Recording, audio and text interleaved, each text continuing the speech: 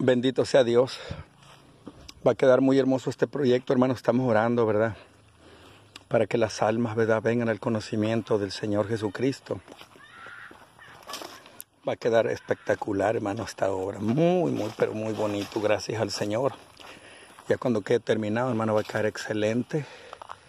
Así se miraría el frente, pero ya, ya cerrado, va a quedar muy bonito. Estamos echándole muchas ganas, gracias a Dios, y el clima está cambiando también, hermano.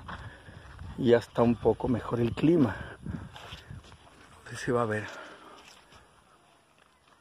Gracias a Dios, poco a poco, hermano, está tomando forma esta bendita obra, este templo.